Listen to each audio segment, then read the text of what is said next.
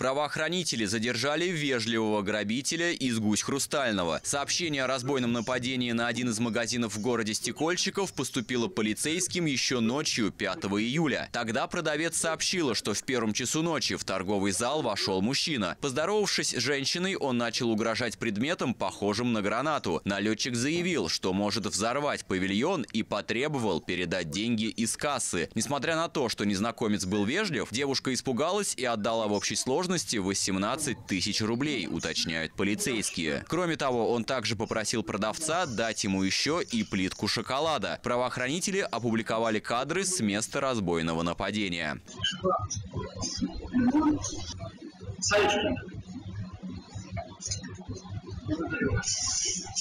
Все-таки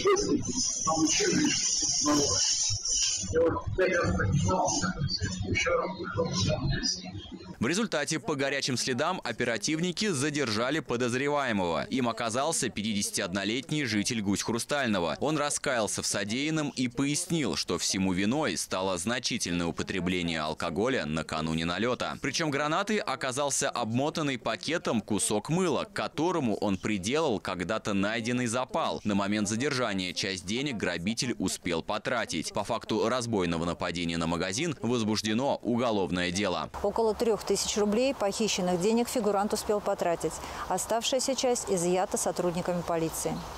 В настоящее время Следственным отделом Межмуниципального отдела МВД России «Гусь Хрустальный» в отношении гражданина возбуждено уголовное дело по признакам преступления, предусмотренного частью 2 статьи 162 Уголовного кодекса Российской Федерации. Подозреваемому избрана мера пресечения в виде заключения под стражу. Теперь вежливому грабителю из Гусь Хрустального грозит до 10 лет лишения свободы со штрафом до 1 миллиона рублей. В новых Амутищах манипулятор влетел в стену придорожного кафе. Авария произошла 13 июля на 112-м километре трассы М7 «Волга». Как сообщили в ГИБДД, 35-летний водитель автомобиля УАЗ двигался по полосе разгона и при перестроении создал помеху для движения других автомобилей. В тот момент прямо по направлению ехал манипулятор. Машины столкнулись и последняя улетела прямо в стену придорожного кафе у байкера. На фотографиях с места происшествия видно, что у заведения общепита момента частично обрушилась стена. Кабина манипулятора почти полностью вошла внутрь. Пострадали два пассажира УАЗа, одного госпитализировали, а другого отправили на амбулаторное лечение. В Александровском районе в аварии из трех машин пострадали два человека. Авария произошла днем 13 июля на шестом километре трассы Александров-Карабаново-Киржач. По данным дорожной полиции, 43-летняя женщина за рулем «Шевроле» не справилась с управлением и выехала на встречную полосу. Там она врезалась в Рено Каптюр, которым управлял 74-летний водитель. От удара Рено столкнулась с Audi 80 и вылетела в кювет. В результате ДТП пострадала виновница аварии пожилой водитель Рено Каптюр. Они госпитализированы госпитализированы с переломами. Судя по кадрам с места аварии, ДТП произошло во время ливня. Мы уточнили в ГИБДД, могла ли погода послужить причиной выезда женщины на встречку. В госавтоинспекции сообщили, что по факту аварии проводится проверка, в результате которой будут установлены все обстоятельства. Во Владимире на пожаре на Нижней Дуброве пострадал мужчина. Огонь вспыхнул на кухне в одной из квартир дома номер 27 на улице Нижняя Дуброва. Хозяин жилья попытался защитить имущество и стал самостоятельно тушить пожар. В это время дым из окна квартиры на втором этаже увидели соседи. Они вызвали пожарных. Происшествие случилось 13 июля около половины восьмого вечера. На место пожара выдвинулись 6 единиц техники. Когда спасатели прибыли к дому, они столкнулись с трудностями. Весь двор был заставлен машинами пожарными. К месту пожара смогла проехать только одна небольшая автоцистерна, сообщили в МЧС. Пожар удалось потушить. Его площадь составила 40 квадратных метров. Для того, чтобы люди не отравились угарным газом, спасателям пришлось эвакуировать из многоквартирного дома 35 человек. К счастью, никто не погиб. Но 55-летний хозяин квартиры во время попыток потушить огонь получил ожоги. Мужчину госпитализировали. Причину пожара устанавливает дознаватель. Предварительная версия – неисправность газового оборудования.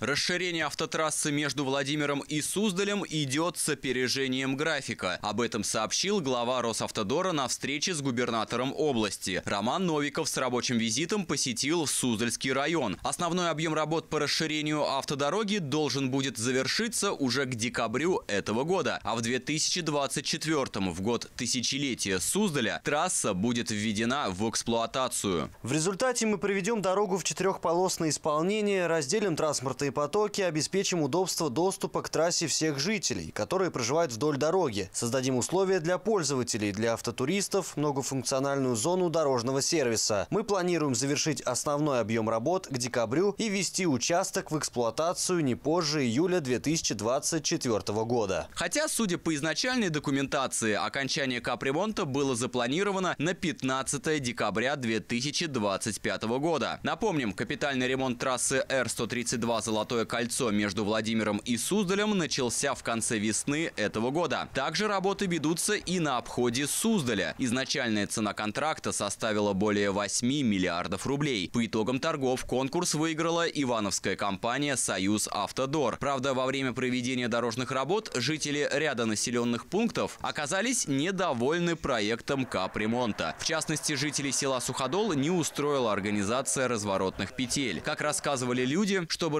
развернуться и попасть домой, им придется проезжать 3,5 лишних километра. Причем, когда речь идет об экстренных службах, счет обычно идет на минуты, поэтому вопрос этот очень важный. Требуется именно сохранить такую доступность, а не увеличивать километраж. Власти региона тогда пообещали учесть мнение жителей Суздальского района. К слову, глава региона на прошедшей встрече также высказался и по поводу судьбы зеленых насаждений вдоль ремонтируемой трассы. Изначально планы были дальше, к 25-26 годам. Но в сложном бюджете были найдены средства, и мы получаем самый большой подарок тысячелетию Суздаля. Безусловно, необходимо защитить поля и дорогу от переметов. Думаю, что после расширения трассы мы это восстановим своими силами. В любом случае, спасибо дорожникам за быструю работу, а то, что можем сделать сами, сделаем. Дорожные строители также планируют установить разделительно-осевое барьерное ограждение, а на отдельных опасных отрезках – боковое. Кроме того, на примыканиях к местным дорогам будут построены переходно-скоростные полосы, которые позволят автомобилям беспрепятственно вливаться в общий поток. В дополнение на трассе между Владимиром и Суздалем по современным стандартам будут обустроены действующие наземные пешеходные переходы и остановки. Алексей Домнин, шестой канал.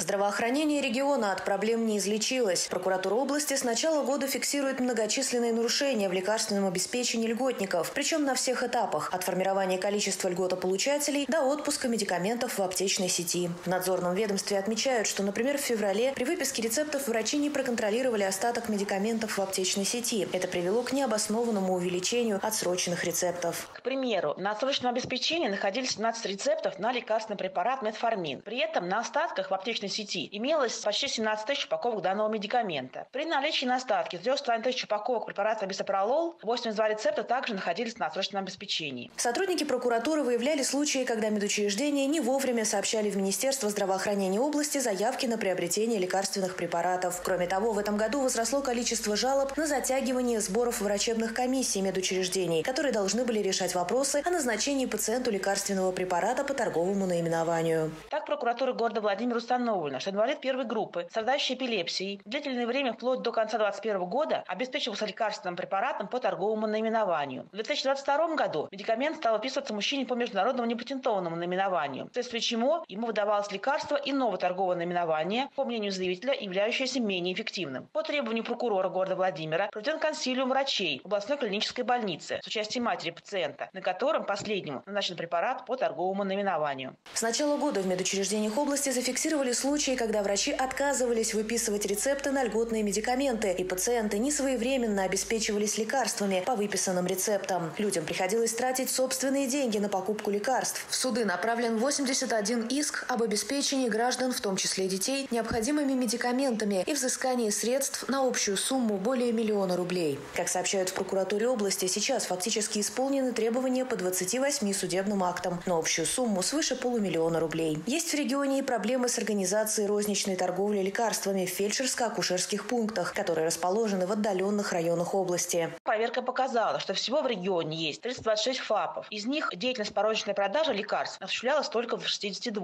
В целях устранения таких нарушений прокурорами в текущем году направлено 49 заявлений в отношении 88 ФАПов, а в 2022 году предъявлено еще 49 таких заявлений. Кроме того, прокурорами Селивановского, Судогодского, Юрьев-Польского, Камешковского, Кижайского районов главным врачам учреждений здравоохранения внесены представления. Только в текущем году, благодаря принятым мерам, уже организована продажа лекарств в ряде ФАПов Камешковского, Гороховецкого и Усть-Хрустального районов. Напомним, на прошлой неделе надзорное ведомство региона сообщило о выявлении грубых нарушений оборота льготных лекарств. Так установлено, что с начала 2022 года по май этого были списаны лекарства на общую сумму более 58 миллионов рублей. Большая часть медикаментов из этой суммы закупалась в рамках регионального проекта «Борьба с сердечно-сосудистыми заболеваниями» нацпроекта здравоохранения. При таких крупных списаниях те жители, которым действительно нужны были утилизированные препараты, не смогли получить их вовремя. Прокуратура выявила не менее 20 жителей, которым должны были выдавать эти лекарства бесплатно. В Минздраве региона на наш официальный запрос с просьбой прокомментировать претензии надзорного ведомства ответили следующее. По состоянию на 1 июля в регионе отмечается стабильная ситуация с льготным лекарственным обеспечением пациентов, страдающих сердечно-сосудистыми заболеваниями и находящихся на диспансерном наблюдении. Очередь на получение лекарственных препаратов для данной категории льготополучателей в субъекте отсутствует. По вопросам, касающимся нарушений в обороте льготных лекарственных средств, выявленных прокуратурой Владимирской области, сообщаю, что в настоящее время правоохранительными органами проводится проверка, по результатам которой будет дана оценка действиям должностных лиц.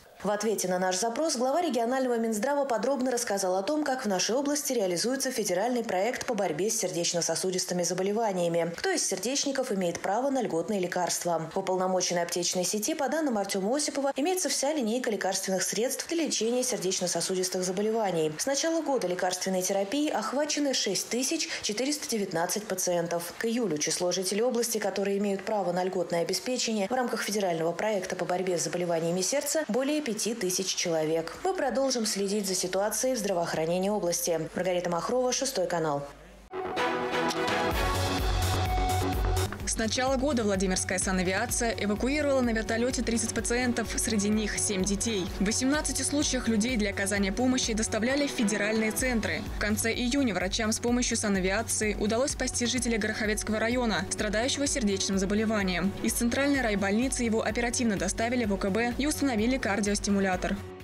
Для владимирцев подготовили программу праздника «Вишневый спас». Состоится он 16 июля. Локации традиционные Патриарший сад, Спасский холм и Пешеходная улица. С 12 до 6 для гостей будет работать ярмарка-продажа, на которой представят вишневые сувениры ручной работы, а также ягоды вишни, смородины, малины, черники и голубики. К чаю будет предложена свежая выпечка. По Патриаршему саду пройдут бесплатные экскурсии с 12 до 4 часов дня. Там же будет работать творческая мастерская, где гости смогут принять участие в многочисленных многочисленных мастер-классах и насладиться музыкой. Тематические экскурсии пройдут также и на Георгиевской улице. Кроме того, здесь состоится детская музыкально-интерактивная программа с конкурсами и викторинами. Победители ждут призы от городских парков культуры и отдыха. С 8 утра до 8 вечера доступ на пешеходную улицу Георгиевская от кафе «Блинчики» до выхода на Большую Московскую в районе музея Бабуся и Гуся перекроют турникетами. Чтобы попасть на локации праздника, расположенные на пешеходной Георгиевской, нужно будет пройти через рамки металлоискателей. Мастерский художественный музей оснастили современным оборудованием. Контроль климата, интерактивное оборудование и современные витрины с антибликовыми стеклами. В таких условиях экспонаты музея покажутся посетителям еще более интересными. Музей получил 7 миллионов рублей на техническое дооснащение в рамках нацпроекта «Культура», сообщают в правительстве области. Музей в целом обновился. Теперь для его гостей доступна услуга радиогида. Также в прошлом году в музей провели газовое отопление. А еще в 2022 году учреждение получило более 2 миллионов 600 тысяч рублей на создание новой экспозиции. Юные владимирские спортсмены привезли 9 золотых медалей всероссийского турнира. Соревнования по спортивному ориентированию «Волжские просторы» прошли в Нижегородской области. За четыре дня спортсмены выступали в нескольких дисциплинах. Владимирскую область представляла большая команда – около 100 человек. Как сообщает Минспорта области, владимирские ориентировщики завоевали 21 медаль. Кроме золота, в копилке сборной еще 5 серебряных и 7 бронзовых медалей. Педагоги и учащиеся Ставровской школы победили в конкурсе Музея Победы. Их работу отметили в номинации «Классный час в школьном музее». Участники программы «Школьный музей Победы» из разных городов России создали просветительские и выставочные проекты по истории родного края. Всего на конкурс направили 500 заявок из 76 регионов России. Лучших конкурсантов пригласили на ежегодный Всероссийский съезд программы. Он пройдет в октябре в Москве. На июльском приеме у Владимира Киселева граждане говорили о шуме. Одна из заявительниц обратила внимание на то, что региональный закон об обеспечении тишины и покоя граждан на территории Владимирской области не охватывает садоводческие некоммерческие товарищества. Основной источник шума – газонокосилки, триммеры и праздничные застолья на свежем воздухе. Понятно, что нужно косить траву.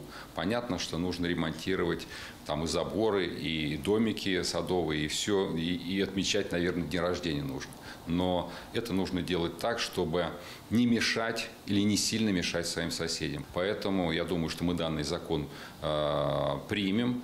Э, сейчас он направлен в различные инстанции, в общественную палату, в Совет э, муниципальных образований Владимирской области. Как только нам данные организации дадут свое заключение, мы данный закон несем на заседание законодательного собрания. Закон Владимирской области о соблюдении тишины подразумевает ограничение громкого шума музыки с 22.00 до 6.00 в будние дни и с 22.00 до 9.00 в выходные и праздничные дни. Губернатор области Александр Авдеев также поддержал включение СНТ в список тихих территорий. А в Собинском районе шум, если точнее рев автомобильных двигателей, стал символом автогонок. Автодром Колокша, созданный при поддержке законодательного собрания и существующий менее года, успел стать известным, а также привлечь участников и зрителей. Теперь об автодроме Колокша знают за пределами региона. Это очень такой хороший, зрелищный вид спорта автомобильные гонки, но, к сожалению, требует больших площадей для того, чтобы организовывать. А, в том числе и необходимо учитывать безопасность зрителей в первую очередь, конечно, безопасность самих участников этих мероприятий, соревнований. Но вот нам удалось совместно с администрацией а, Собинского района найти такую площадку в Собинском районе, где ребята сегодня занимаются а, этим видом спорта. Они там и тренируются, они там проводят соревнования. Причем вот эти соревнования сразу привлекли большое количество и зрителей, и, самое главное, участников из многих других регионов нашей страны, в том числе числе из города Москвы, Московской области. Значит, опасались, что местные жители будут недовольны вот этим шумом, потому что постоянный шум действительно от э, тренировок и от автомобильных гонок. Но на самом деле э, жители оказались благодарными, потому что они говорят, что наш, наш район вот эта вот территория зажила. Пришедшие на прием к председателю ЗС автомобилисты вручили ему благодарственное письмо и пригласили на соревнования. Владимир Киселев, в свою очередь, пожелал спортсменам интересных гонок и новых побед.